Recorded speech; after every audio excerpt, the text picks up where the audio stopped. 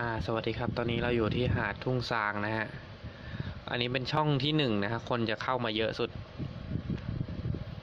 ก็จะมีของขายเยอะสุด แล้วมีห้องน้ำให้สองห้องนะฮะ เนี่ย อันนี้ผมอยู่บนรถเนาะ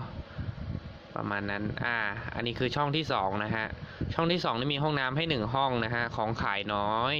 น้อยกว่าช่องที่หนึ่งเยอะ อือฮึเนี่ย แต่ผมบอกได้เลยว่าเกรดของเขาเนี่ยแบบสวยอะ เอ่อในทางภาคใต้เนี่ยที่ไม่ข้ามเกาะผมเจออันนี้ยังยังไม่เคยไม่เคยเจออันไหนสวยกว่านนี้นะเลเวลแบบใกล้เคียงกับเกาะมากอะ่ะทางทิศใต้นะ เนี่ยอันเนี้ยอันนี้คือช่องที่สองมันมีทั้งหมดสามช่องนะฮะเอ่อจุดด้อยของหาดนี้ก็คงไม่มีที่พักอะ่ะมันไม่มีที่พักนะฮะ มันมีเจ้าของที่อยู่แต่เขาไม่สร้างอะไรทั้งสิ้น อืม ไม่สร้างไม่ทำอะไรไม่ขายด้วย อืมนี่คือช่องที่สองนะฮะ อยู่ห่างจากกรุงเทพเยอะพอตัวเลย อันนี้ผมกลับจากทุ่งวัวแล่นเนาะ ห่างจากทุ่งวัวแล่นประมาณชั่วโมงได้มั้ง อืม โดยประมาณนะ เนี่ยครับ ก็เป็นบรรยากาศเนาะ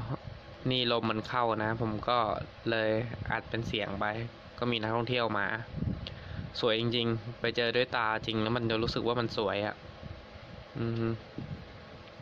ทุ่งกระเล่นก็สวยนะฮะแต่ผมเชื่อว่าแพ้ที่นี่นะ อ่า นี่คือช่องที่สามนะฮะ ช่องที่สามนี่จะมีแค่ของขายไม่มีห้องน้ำนะฮะ มีเป็นลูกชิ้นอะไรเล็กๆน้อยๆมีไม่กี่ร้านนะฮะ เนี่ยมันสวยจริง ๆ ผมไล่ดูหลายหาดแล้วนะ ผมว่าหาดเนี้ยสวยต้นๆเลย ในแถบภาคใต้นะ ไปกระบงกระบี่ผมก็ไปมาหลายหาดนะฮะ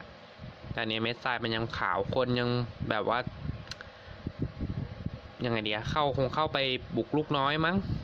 ผมก็ไม่เข้าใจเหมือนกันมันสวยจริง ๆ นะ เป็นหาดที่อาจจะไม่ได้ดูใหญ่มาก แต่คุณภาพนี่แบบโอมากครับ อะแต่เราก็มาดูถึงใกล้ถึงตอนมีรูปแล้ว